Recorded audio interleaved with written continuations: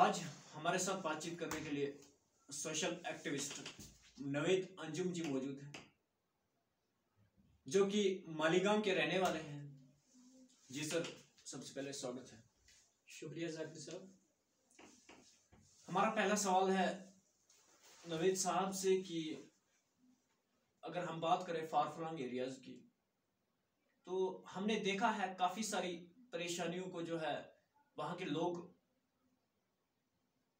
Face करते आ रहे हैं।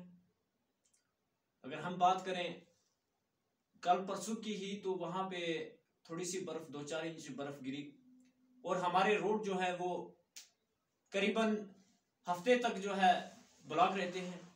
पहले दो फुट बर्फ़ वहाँ पे गिरी थी और पंद्रह या बीस दिन के बाद रोड जो है क्लियर किया गया।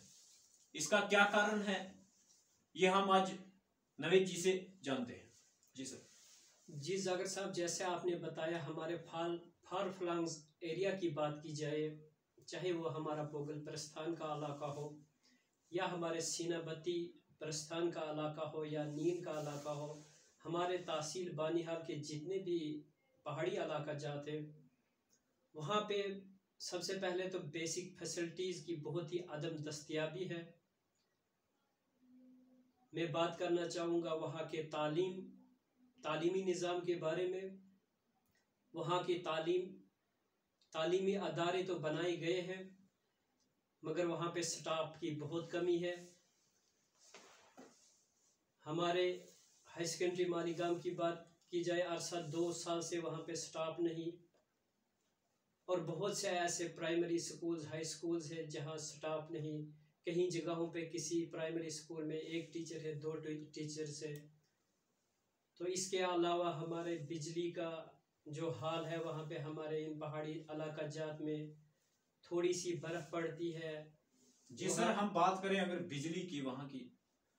मंथली जो है, किराया वसूला जाता है तीन सौ पचहत्तर रुपए या तीन सौ तिहत्तर की मैं बात करूँ। लाइट की अगर बात करें तो हमने ये भी देखा है, लोगों ने हमें कहा है कि सर्दी के मौसम में सिर्फ़ ज़्यादा से ज़्यादा दो या चार दिन लाइट चलती है, क्योंकि बारिश होती है, बर्फ़ गिरती है वहाँ पे।